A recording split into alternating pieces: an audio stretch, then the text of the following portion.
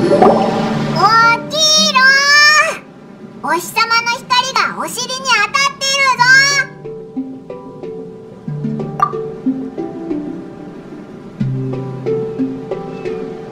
じゃあお腹に当たってたんだ。よく眠れたでござるか？皆そのような感じだ。拙者は一番早く起きたゆえ今朝は辺りを散策して朝毛になりそうな果物を取ってきた一緒に食べようと思っておいらずーっと我慢しながらお前が起きるのを待ってたんだぞ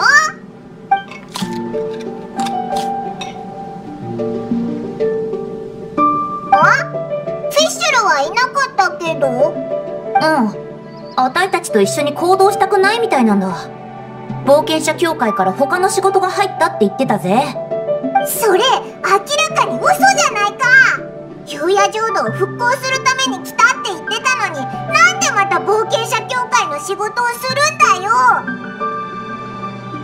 彼女のあの様子何か悩みがあるのであろうあたいたち、昨日と同じように、モナについててもらおうとしたんだ。だけど、モナは冒険者の仕事を知らないから、一緒に冒険には行けないって断られたらしい。一人になるために幽夜浄土って言い訳も出さなかったよな彼女はかなり大きな困りごとを抱えていると見えたはあ、友人としてフィッシュルを助けてあげたいですが、今日は彼女の言う通り、他の島を探索しに行くことになりました。満場一致だったんだぞあんたの分はパイモンが代わりに投票した。あんたらはコンビだから、あんたのいる場所にパイモンがいて、逆も同じなんだってさ。ひひお前は冒険者だぞ絶対行くだろ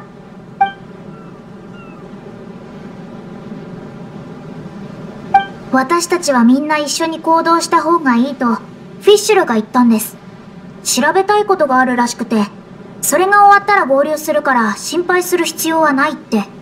ああ見えて、経験豊富な冒険者ですから、彼女を信じていいと思います。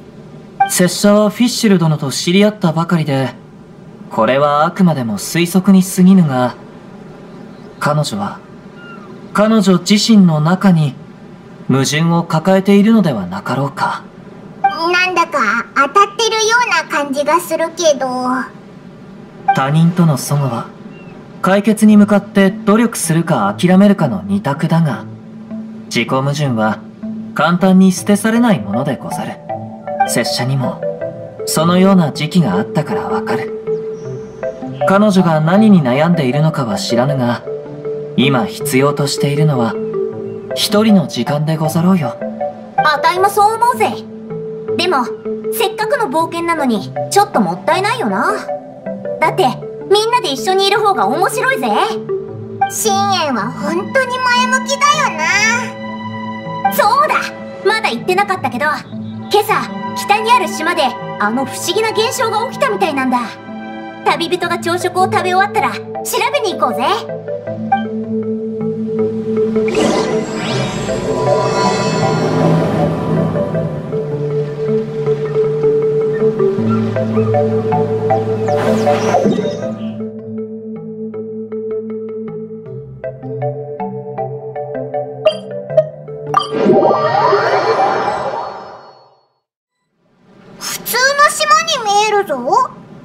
風の匂いが熱く燃えているようでござる。えっと、水裏の番が少し明るくなりましたが、まだ見えません。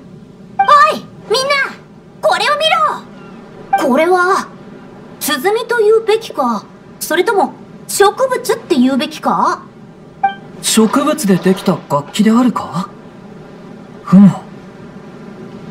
深淵、ここはもしかすると、あなたに関する島ではありませんか？え、じゃあ、これはあたいのために用意された楽器か？それなら、早速打ってみようかな。待たれよ昨日は拙者が盆景の月山に触れると皆が特殊空間に移動したでござろう。深淵殿先に準備をした方が良いのでは？そうかもな。でも心配いらないぜ。あたいは音楽にかけては常に準備万端だからな。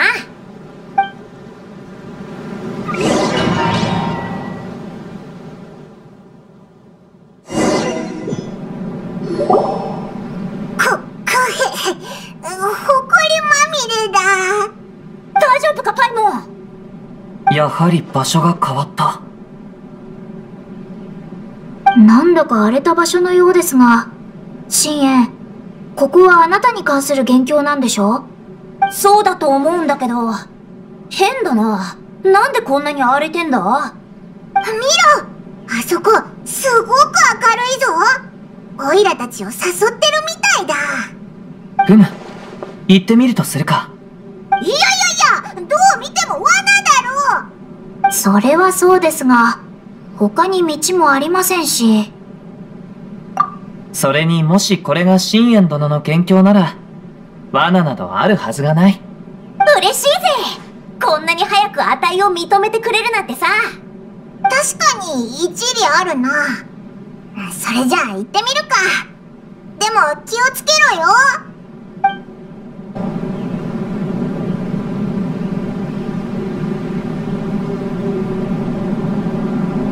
扉に鍵がかかった。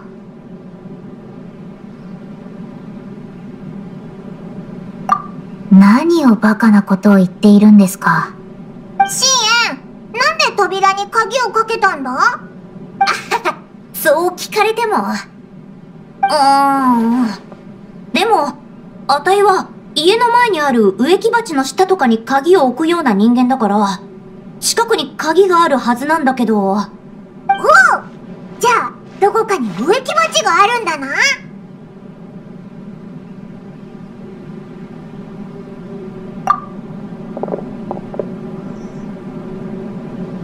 可能性がないとは言い切れねえな。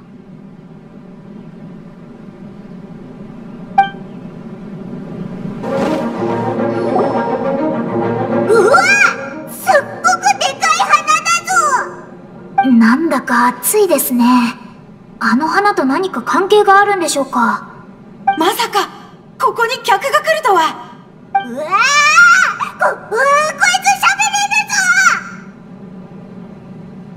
それはそうだけど。ででもやっぱりなんか感じが違うだろようあたいたち外の浜辺にあったスズミみたいな植物を触ったらここに送られてきたんだ。あんたはここの主人か？ここは音楽の殿堂私はただの門番に過ぎない。友よそなたたちも究極の音楽を求めに来たのか？その通りさ。それではそなたが音楽に託すものは？あたいの歌は反逆の歌だ。おお素晴らしい！そなたとは分かり合えそうだ！出会えたことを幸運に思う！変な花とも気が合うんだな付き合いやすい人というのは、どこに行っても友達がたくさんいますよ。ここまでたどり着けたのだからより深い殿堂に入りたいだろう。しかし殿堂に入るためには私の歌声が必須。すまないが今は少し声が枯れてしまって。大丈夫か？えー、っとそのおかんに効く薬でも飲むか？いや私はただ長いこと寒山感染を口にしていないだけだ。あれさえ飲めば再び歌えるようになり道を開けてやれる。寒山感染？それって泉の名前か？そう。その水を飲めば疲れた大人も眠い小鳥も物心つかぬ子供まで誰もが美しい歌を歌えるようになる。おおよし探してきてやるよ泉の場所を教えてくれるか？感謝する。澄んだ水で育った植物は困難を乗り越え山を登る泉は緑豊かな山の上だ。山に登るのか。海水を汲めばいいのかと思ったぜ。泉の湧き水と海水は全然違うでしょう。ただ泉をその目に移すには私の力が必要かもしれない。手を差し伸べなさいそなたに私の世界を見せてやれるようにしよう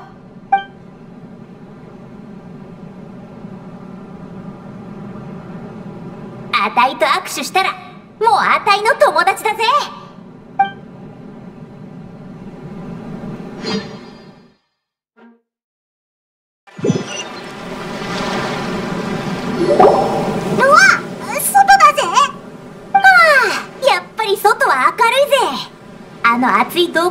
嫌いじゃないけどな。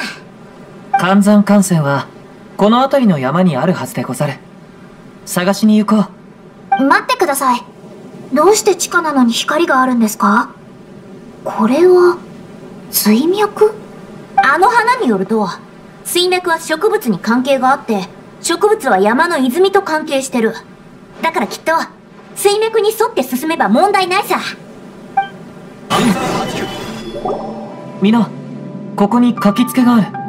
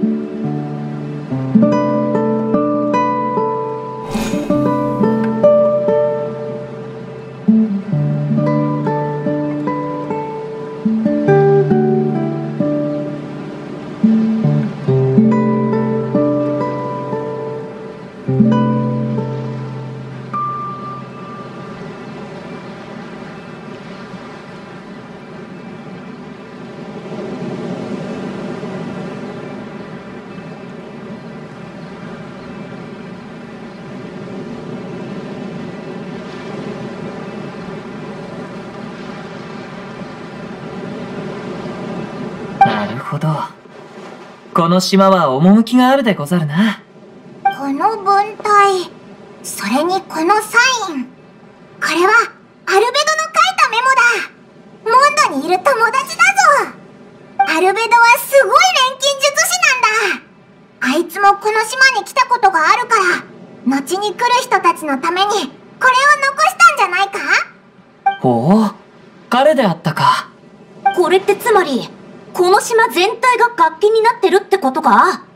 それすごすぎじゃねえか！それに地下にある水脈にも関係してるみたいだぞ。うーん。島の音楽を奏でるには全部の水脈に水を通す必要があるかも。楽器を演奏する前にまずはメンテナンスをする。合理的だな。これが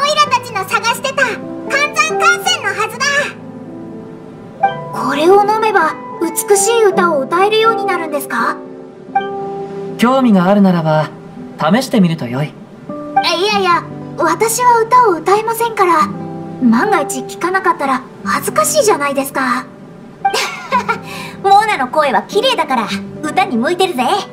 もしよければ拠点に戻ってから歌う時の呼吸法を教えてやるよ。え？ほ、本当にいいんですか？ぜ、絶対に笑わないって約束してくださいね。もちろん笑ったりしないさ誰だって初めはゼロから学ぶんだからはい。それじゃあ、試してみてもいいです。よしじゃあその前に泉の水をあいつの元に届けようぜ浜辺にある鼓に触れれば元凶に入れるでござるもう一度やってみるとよい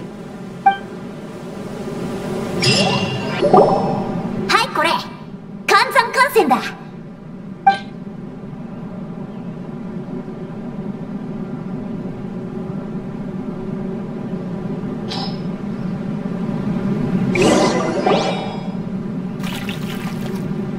だいぶ良くなった。やはりかなりの効果。感謝する。早速そなたたちの行きたいところへ送ってやろう。うん。帽子が飛んでいってしまうところでした。ふむ。この匂い。拙者たちはリーウェイあたりの山にいるようでござる。暗いところだな。みんな待って。聞こえたか？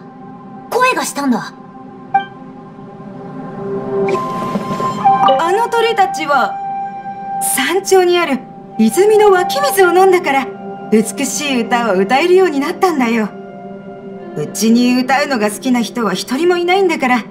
あんたも歌が上手なわけないでしょ。だったらあたいもその水を飲めばいいんだろ。母さんちょっと行ってくる。夜中まで家に帰らずこんな山の中にいるなんて。父さん心配してたんだぞ。ほらお前が探してる泉の水だ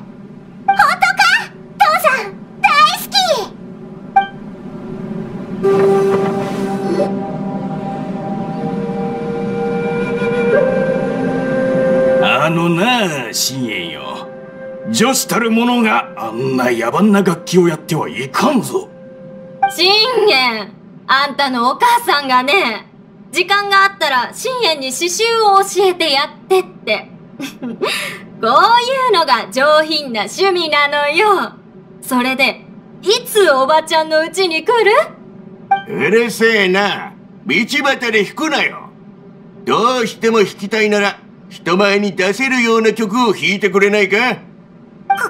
こいつらなんてひどいことを言うんだ！ああ、この人たち。なん本当にムカつくぞ！なんで言い返さなかったんだよ！お前のロックの精神はどこに行っちゃったんだ！こんなセリフを聞いてまだ笑えるのかよ！怒らないのか？こういうのって初めは確かにムカつくけど100回も聞かされたらもう怒りも湧いてこないんだ。でもありがとなパイモン。え？吉祥おばちゃん。ええおばちゃんはあんたの返事を待っているのよ。今週末はちょうど時間があるから。あたいのことはいいって。そんなことよりおばちゃんかまどの火がついたままだぞ。スープを火にかけてただろあちゃーほらもう焦げちまってるんじゃないか。あらら大変。竹おじ竹坊がまた外で泥遊びしてたぞ。やれやれ。やめるように竹おじも言ってたのにな。なんだと。あいつまた俺に内緒でやらかしやがって。後でしっかり言い聞かせてやらないと。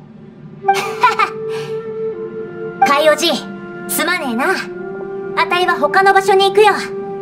でも海おじもちょっとは流行を追った方がいいぞ。何しろリーウェ校で一番有名な役者さんまでもがあたいのこの人前に出せない曲を好いてくれてるんだからな。な、なんだと？あお前、嘘をつくなよ。本当にそうなのか？へっ、他のやつに聞いてくる。去っていきましたね。話術と自然な笑顔があればほとんどのトラブルを解決できるんだ。ならば、ロックの精神は、一体どこで使うのでござろうか？あたいのロックの精神はそんな表面的なものじゃないんだ。人と喧嘩するためになんか使ったらもったいないだろロックは革命だ。自分と運命を改革し臆病さや妥協なんかに別れを告げる。言葉じゃなくて芸術でな風や雨の中でも消えないろうそくの火。洞窟の地下で永久に湧き続けるマグマ。誰にも止められねえ気迫。これぞあたいのロックさ。ほら進もうぜ。あそこに小道があるぞ。そっちに行ってみよう。あなたは心が広いんですね。もし誰かに天才ではないと言われたら、私はきっと怒りますよ。本当か？ちょっと行ってみたかったんだよな。うわ見ろモダがオイラを睨んでるぞ。パイモンあんたはロックの精神でキンキに触れるんだな。実を言うと、拙者も、ロックに興味が湧いてきた。本当かよ？あたいをごまかせると思うなよ。もちろん冗談ではござらん。ロックは人に強い意志を与えてくれるそれだけで十分であろう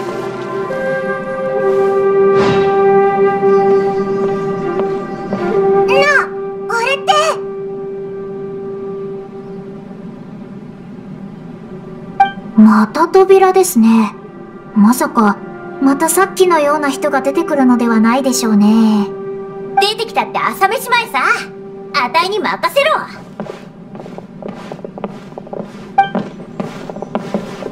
お姉ちゃん、その髪型は変だよ。そうか？あたいはかっこいいと思うけどもう一度よく見てくれたった二つ結びにとんがった髪飾り。そんなのしてる人いないよ。だから変だっていうのは違うぞ他の人と違うからきっと印象に残るだろそしたら今度また会った時あんたはあたいのことを覚えていてくれるかもしれないうん。確かにそうだ。髪型や服それに顔やスタイルは他の誰かに見せるためだけのものじゃないぞ自分がしたい格好をしていいんだ本当？でももし俺が犬の書いてある服を着たら、きっとフェイは犬みたいってからかわれちゃうよ。そしたらそいつらの言うことなんか聞かないことにしようぜあんた犬が好きなんだろ？うん。好き。あんたの友達は犬が嫌いなのか？みんなも好きだよ。だったらあんたの友達もきっとその服を気に入るはずだ。わかった。でもお姉ちゃん、なんでみんなに好かれるような髪型をしないの？仕方ないさ。だってあたいはこういう個性的なのが好きだからな。はあそれにこの髪を言った時はみんなからこんなに嫌われるとは思わなかったんだ。なのに変えないの？この髪型こそがあたいの音楽と生活に合ってるんだ。普段よく見る髪型っていうのはみんな普通すぎて元気が足りない。それにライブの時に髪が邪魔で頭を触れなくなっちゃうぜ。嫌われても気にしないさ。あたいは変えない。お姉ちゃんの髪型、友達にも嫌われてるの？そんなことないぜ。綺麗だってみんな言ってくれる。友達はお姉ちゃんの味方なんだな。羨ましい。俺の友達は、俺一人をここに置き去りにしたんだ。急に泣き出してどうしたんだ？あ何があった？ほらお姉ちゃんに話してくれルルとモンちゃんが、俺と遊んでくれない？今日は、不当で会うって約束したのに、二人とも来てくれないんだ。子供のくせにすっぽかしたよここで待っててくれあたいが探しに行くよ二人を見つけたらあんたのところに連れてきてやるからさうん。ありがとう、お姉ちゃん。髪型が変だなんてもう言わない。気が利くなじゃまた後でよあんたがルルか？お姉ちゃん、どうしたの？フェイと不当で会うって約束したろ？なんで会いに行ってやらないんだ？あいつ泣いてたぜあのバカ。こっちに来てくれたらよかったのに。サプライズまで用意したんだから。サプライズ？どういうことだ？いやあんたはモンか？フェイって子が不当であんたを待ってるぞ待ちくたびれて泣いちまったんだえ？フェイ君のやつ、なんてバカなんだよ。僕たちのとこに来ればいいのに。まあ、いっか。彼を探しに行くよ。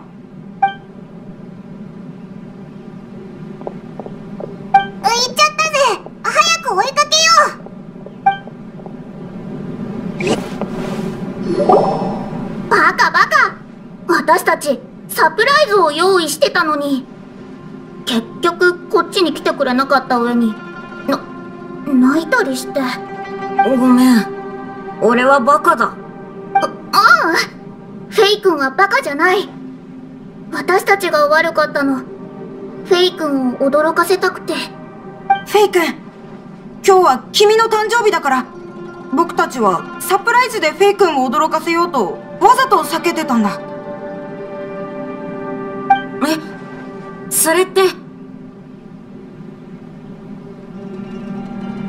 ェイ君のために、ハスの固くをたくさん取ってきたよ。とっても美味しいんだから。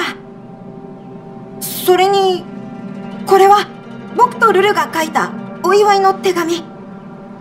字が汚いとか、一個なしだよ。お前ら。ありがとう。そういうことだったのか。大事なくてよかったでござる。友達だったらこういうことをしてもおかしくないよな友達がサプライズしてくれたらあたいだってびっくりするよサプライズを用意してくれって言いたいんですか？すごい話術ですね。え？おいやいや違うぞただ感想を言っただけでわかってますよ。私もちょっとサプライズで冗談を言ってみただけです。ああおいらお腹が空いたぞ確かにそろそろご飯の時間だしそうだな。あたいの家で食べていけよ。ここからそんなに離れてないから歩いていけばすぐだ。県境にも家があるのか？あるぜ。さっき見たんだ。この道は現実と同じようにあたいの家に繋がってた。現況にいるとはいえ周りと意見が合わない時やライブで失敗して落ち込んだ時もし行くべき場所があるとすればあそこしかないんだだって人は家に帰るもんだからなここださあ靴はそのままでいいから上がってくれ失礼するでござる椅子もあるんですね。ちょうど座りたいと思っていたところです。ん？奥の部屋から声がするな。あんたらは休んでてくれ。あたいはちょっと見てくる。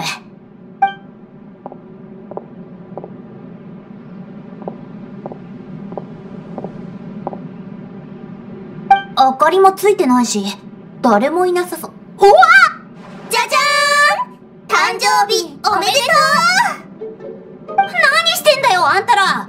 部屋にいるならちゃんと明かりをつけろって。びっくりしただろ。運金の言った通り本当に驚いてるね。せっかくの誕生日ですから、普段とは違う方がいいかと思いまして。あんたらなそんな可愛い顔してこんなことするなよな頼むから。あら、そのようなことを言われても、私は納得しませんよ。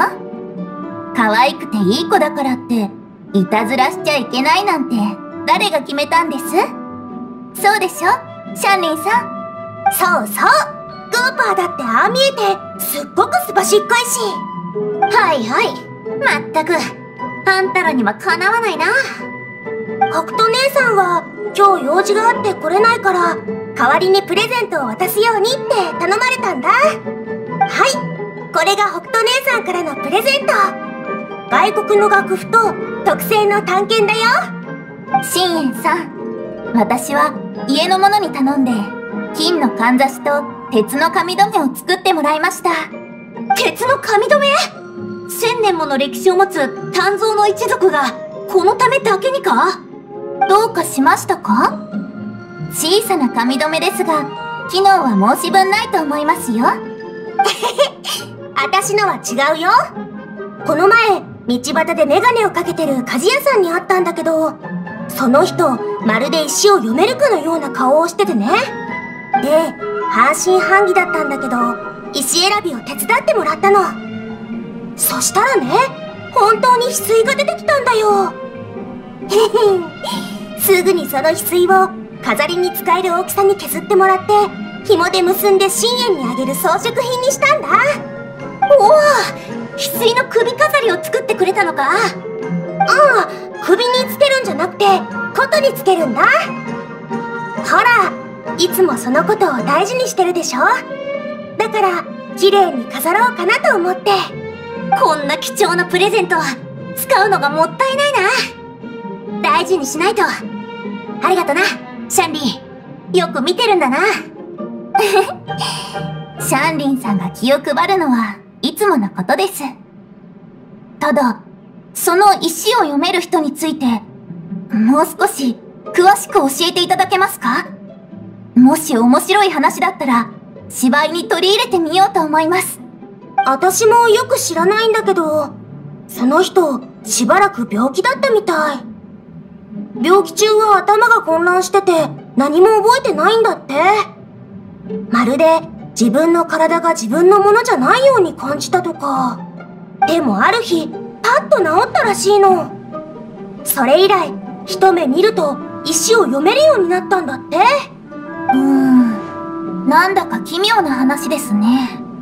ああそれより料理が冷めちゃうよ。早く食べよ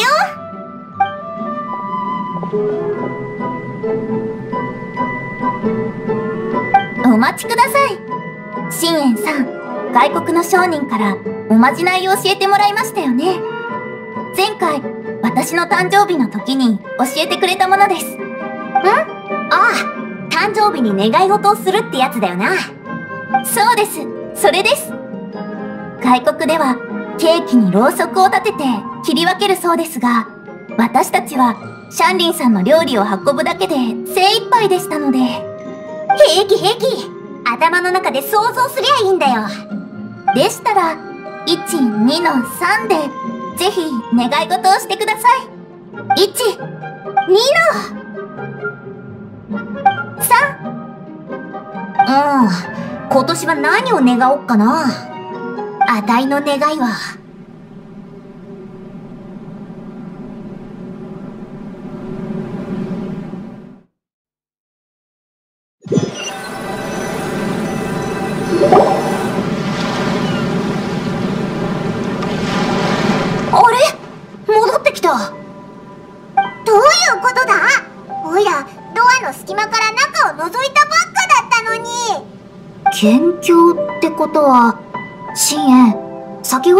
何かありましたか？おいら知ってるぞ深淵の誕生日を祝ってくれる友達がいたんだよなそれは私も聞こえてましたよ。そうではなくて、彼女自身のことを言っているんです。あたい？ああ、あたいは願い事をしたけど。そういえば、面白い話だったな。さっきドアを開けた先に、あたいの親友のシャンリンとウンキンがいたんだよ。あれは現実ですでに起こったことだ。前回の誕生日のことなんだけど、あいつらがうちに来て、あたいを驚かせてな。美味しい料理がいっぱい用意してあって、あたいに願い事をするように言ったんだ。深淵、その願いは何ですか？あたいの願いは、思いもよらない人と一緒にライブをしたい。だ。思いもよらない人？誰であろうか？それなんだけど、さっきパッと思い浮かんだ人がいる。してその人物とは？うん。いや、答えを言う前に、まずは、山石を貫く水脈を開通させよう。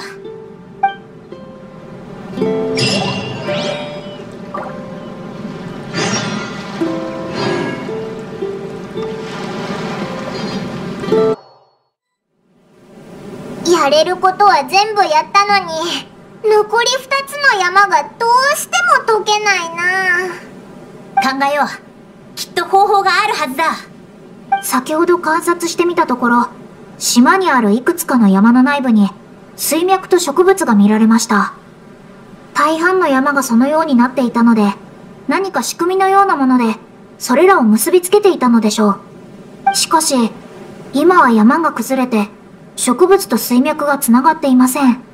全ての水脈を開通させれば互いにつながるのであろうさすればアルベド殿の書き置きにあったように巨大な楽器が完成して島それぞれが音を奏でるはずああ、目的を果たすには、そうするしかなさそうだな。あの花に聞いてみよう。きっと何か方法を知ってるはずだ。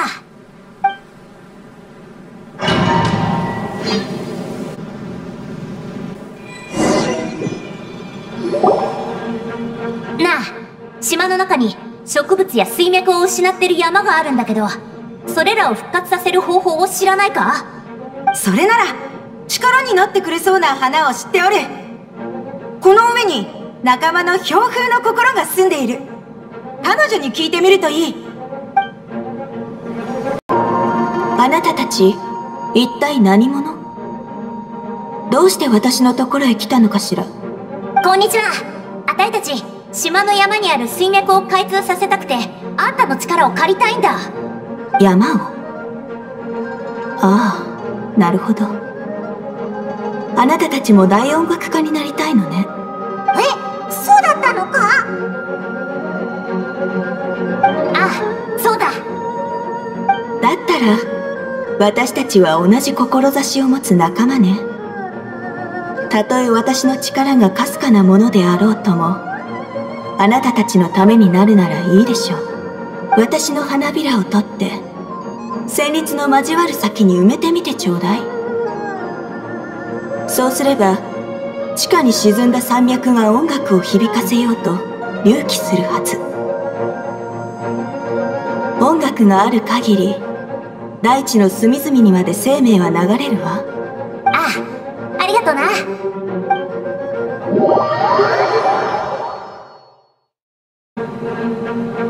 花びらを埋めてきたけど何か感じたか？ええ。感じたわ。太陽が照り海が宝石のように輝き波がクリーム色の砂浜を打つ様を。砂粒が海へと流れまた押し戻されていたわ。岩に降り立った海鳥が優しくつつきリズムを奏でている。どんどん。どんどんと。音楽だ。音楽。そういえばこの島そのものが巨大な楽器だったわね。あなたも音楽家ならその中に秘められた特別な意味を理解できるはずよ。潮風や波の花。潮の満ち引きが奏でる音楽はこの世界で一番ロマンチックなもんだ。みんなあたいのライブを聴いてほしい。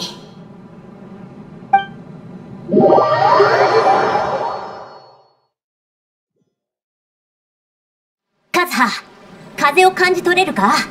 どこへ向かって吹いてる？あそこでござる。拙者が風が吹く頂へと案内しよう。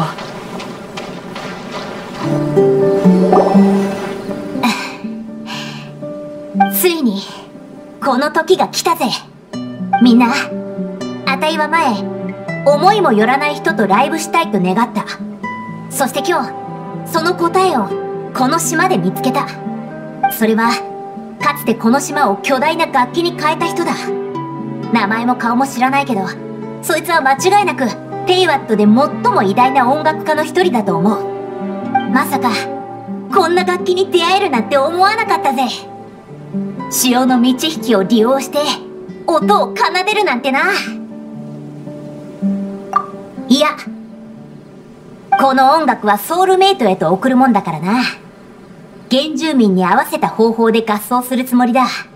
今日はロックじゃなくて新しいもんを見せてやるよ。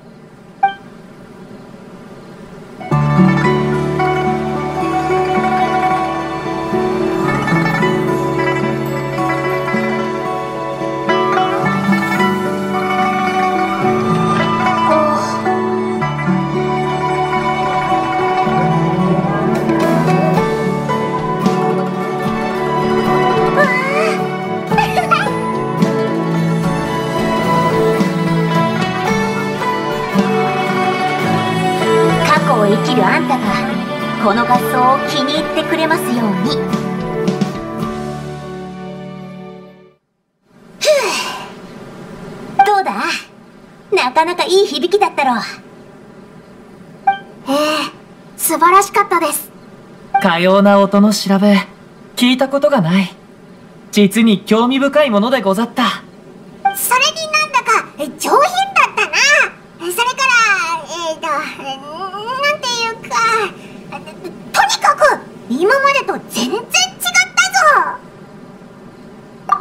へへあんがとなみんな。これであたいの願いも叶った。他にやりたいことはないのですか？あねえな。今夜はぐっすり眠れそうだ。皆これでしばらく時間が空いたと思う。そこで一つ提案があるのでござるがファデュイの拠点に行ってもう一度状況を確認しようと思うのだがどうでござろう？おやあなたたちもファデュイの拠点を見つけていたのですか？ふむまさかお主も？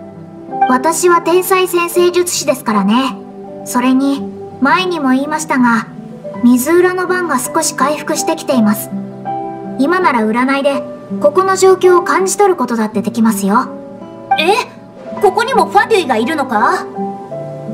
ええ。それから、今日フィッシュルと別れる際にこのことを伝えておきましたから、彼女の心配はいりません。仮にファデュイに遭遇していても身を隠すでしょう。なるほど。それでは、こちらも情報を共有しよう。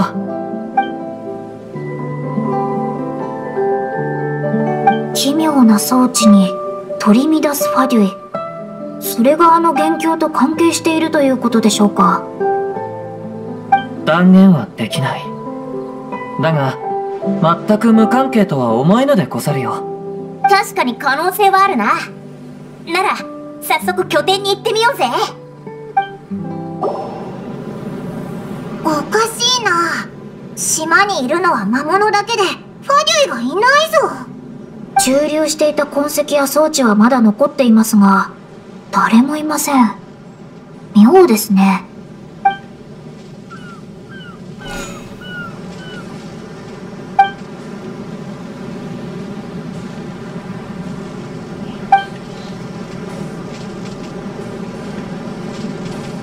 まあいいです。ましょう。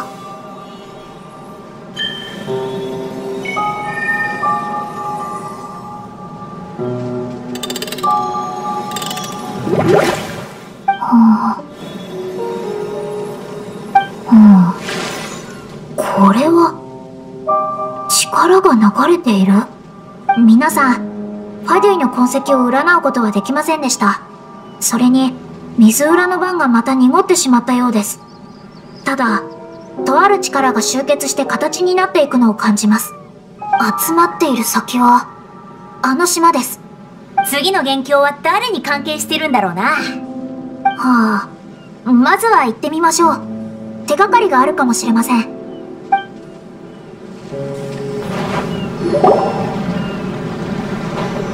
着いたでござるな。あれ？フィッシュル？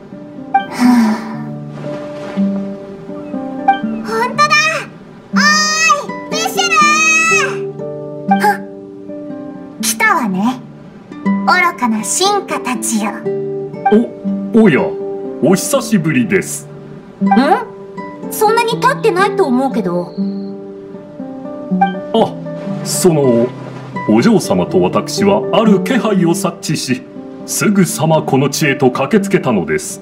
皆様が来るのを待っていたところ、思ったより早くご到着されたので、なんかオズのやつ緊張してないか？オイラの気のせいかな？夕夜浄土の到来を目前にして、私は祝福の儀典を準備しなければならない。お嬢様、また、一人で行動できるわ、オズ。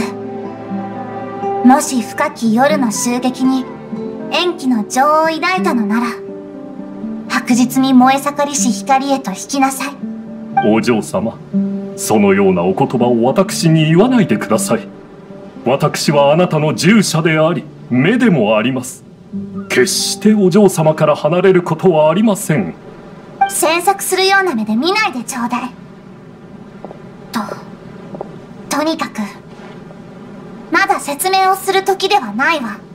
お嬢様皆様申し訳ございませんお嬢様は機嫌が悪いようでしてどうかお気になさらないでくださいそれでは失礼いたしますはあ。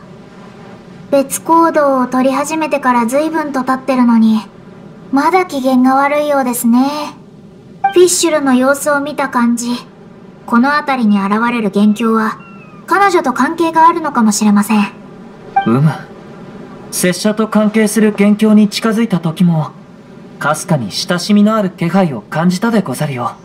あたいもだ理由はわかんねえけど、何か面白いことが起こりそうな予感がしたぜ。ええ。フィッシュルとオズが何かを感じ取ったということは、その予感も当たっているということです。自分の元凶と向き合いたくないから、フィッシュルはあんなにイライラしているのかもしれませんね。そんなどうして？多分、彼女の元凶には、他の人に知られたくない秘密があるのかもしれません。皆さん、一旦ここで休みましょう。元凶が現れれば、謎も解けるはずです。